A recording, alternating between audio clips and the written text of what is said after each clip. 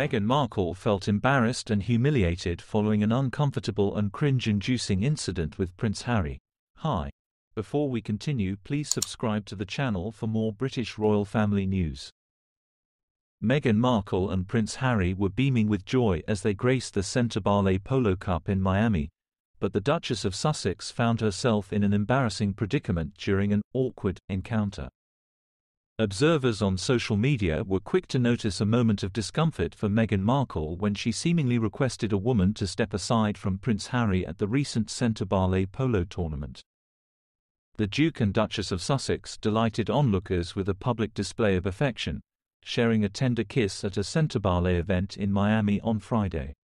Prior to this affectionate gesture, the couple was captured strolling hand in hand, accompanied by a film crew, as they made their way to Harry's fundraising polo match in Florida. The royal couple graced the annual Sentebale Polo Cup, a charitable affair in support of Sentebale, an organization co-founded by Prince Harry in 2006.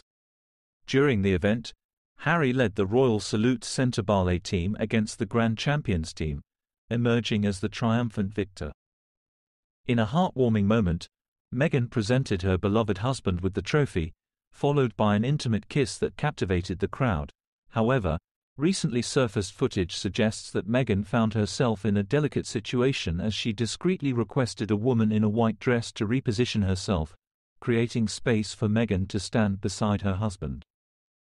In a circulating video clip, Harry can be seen keeping a protective arm around Meghan as she engages in conversation with the woman. In a rather uncomfortable moment, Meghan Markle seemed determined to stand beside Prince Harry, causing another lady to awkwardly navigate her way under the trophy to find her place on stage.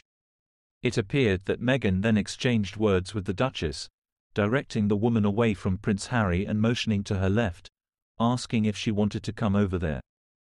Social media users wasted no time in commenting on the incident, with one person remarking that both Meghan and Harry seemed incredibly awkward. Another person chimed in, describing the situation as cringeworthy. However, a different perspective was shared by someone who pointed out that it was actually the other woman in the white dress who had asked to be moved. They added that people tend to blow things out of proportion for no reason. Despite the awkwardness, Prince Harry's team emerged victorious with a 3-1 win, and the Duke himself scored the first goal. The match was captured by Netflix cameras for an upcoming series centered around the Duke of Sussex, as part of the couple's lucrative deal with the streaming service.